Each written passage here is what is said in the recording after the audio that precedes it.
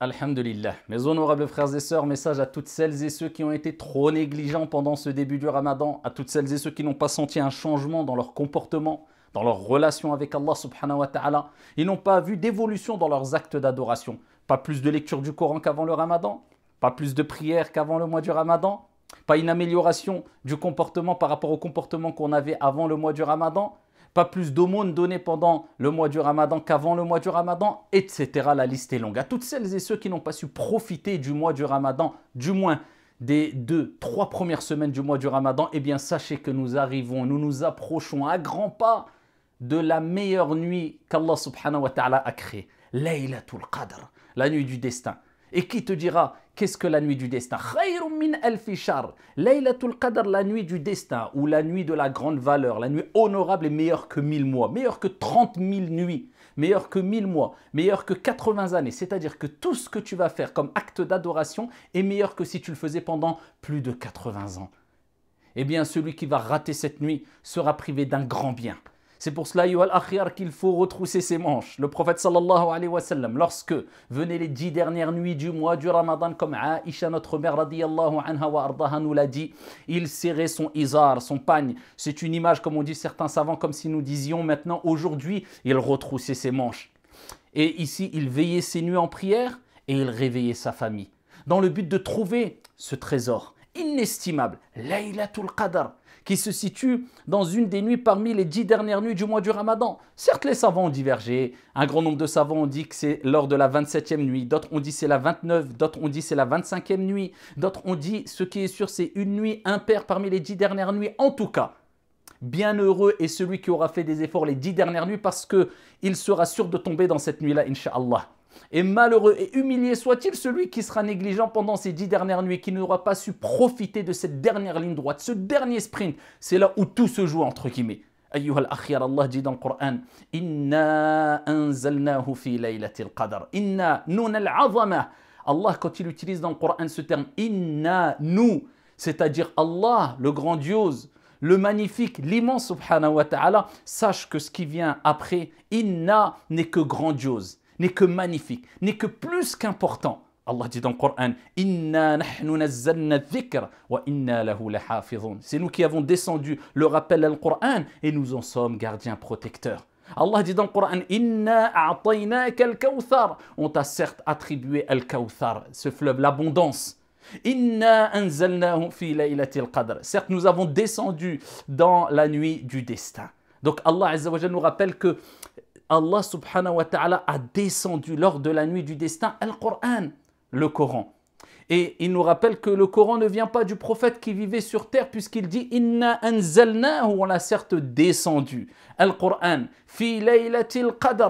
Et qui te dira qu'est-ce que la laylatul qadr Lors de la nuit du destin, Allah a révélé le Coran. Et qui te dira qu'est-ce que la nuit du destin Appelée la nuit du destin ou la nuit honorable ou de, de la grande valeur, de la grande importance eh bien, on l'appelle aussi la nuit du destin. Pourquoi? Parce que lors de cette nuit-là, Allah subhanahu wa ta'ala eh bien, révèle aux anges ce qui est inscrit dans Al-Lawh al-Mahfouz, la table préservée, concernant la destinée, ce qui va se passer tout au long de l'année pour toutes ces créatures, et il révèle cela aux anges. Les anges qui descendent avec ces ordres sages venant de la part d'Allah subhanahu wa ta'ala. Donc Allah a écrit toutes choses sur la table préservée. 50 000 ans avant qu'il crée les cieux et la terre. Ce qui s'est passé, ce qui va se passer, ce qui se passera pour toute créature. Mais les anges ont connaissance de la destinée de chaque créature qu'Allah a créée lors de la nuit du destin, la destinée concernant toute l'année. L'année jusque le début de cette année, jusque cette nuit-là, jusque l'année suivante. Et ça nous rappelle que les sciences, les, les anges, pardon, eux-mêmes ont une science limitée et que la science d'Allah subhanahu wa ta'ala est parfaite et sans limite. Inna anzalnahu fi laylatil qadr. On a certes révélé, descendu lors de la nuit du destin.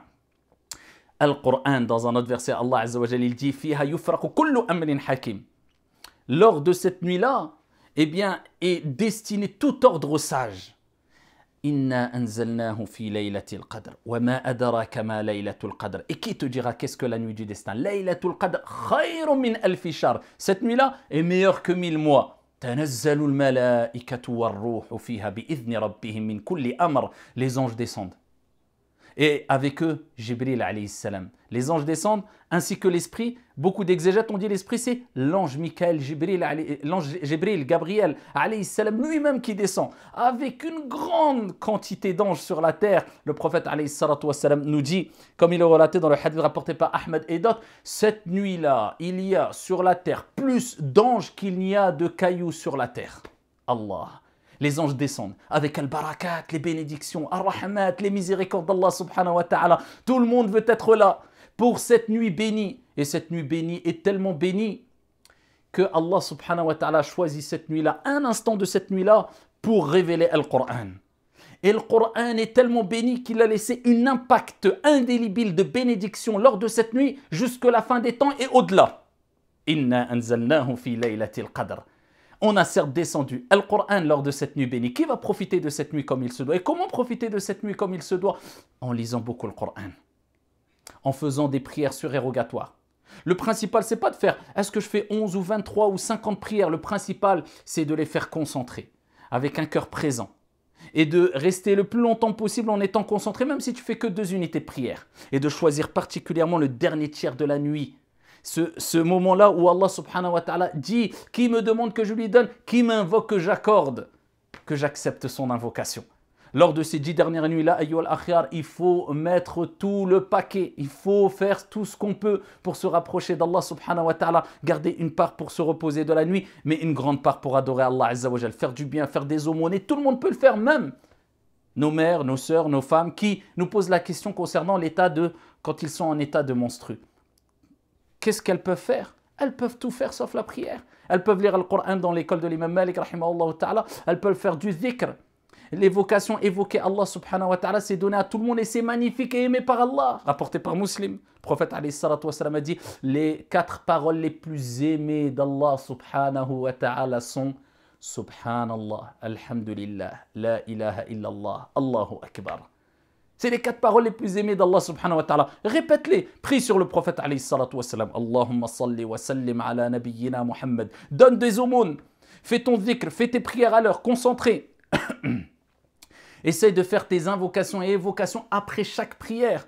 Essaye de veiller la, nuit en prière. Essaye de faire du bien en appelant tes parents au téléphone, en les visitant. Le muhim, ala kullin tout peut être fait, insha'Allah ta'ala. Tout ce qui plaît à Allah subhanahu wa ta'ala et qui te rapproche d'Allah azza wa Et le champ est très large. Pendant cette nuit-là, ayyul akhyar, il faut savoir que tout ce que vous allez faire est multiplié et meilleur que mille mois. Donc à vous de réfléchir, à vous d'être intelligent, à vous d'investir dans ce qu'il y a, dans ce qu'il y a de meilleur, insha'Allah ta'ala. Et Aisha radiallahu anha wa a dit, Ya Rasulallah, si je suis pas dans une nuit qui est la nuit du destin, Laylatul Qadr, que dois-je dire? Et voilà, le prophète nous a rappelé quelle est la meilleure des invocations à dire. Et il dit, dis, Allahumma, innaka afouun, tuhibbul afwa fa'afu anni. Oh Allah, tu es le grand pardonneur, tu aimes pardonner, pardonne-moi.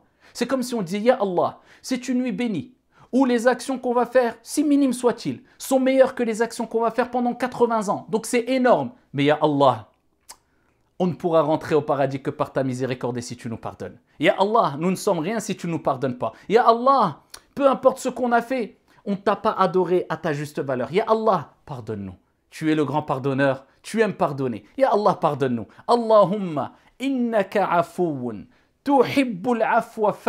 anni. Voilà ce qu'il faut, dire. Et répéter lors de ces dix dernières nuits particulièrement, sans oublier que le prophète a dit la celui qui ne pardonne pas, on ne lui pardonnera pas. Donc si tu veux que Dieu te pardonne, apprends à pardonner.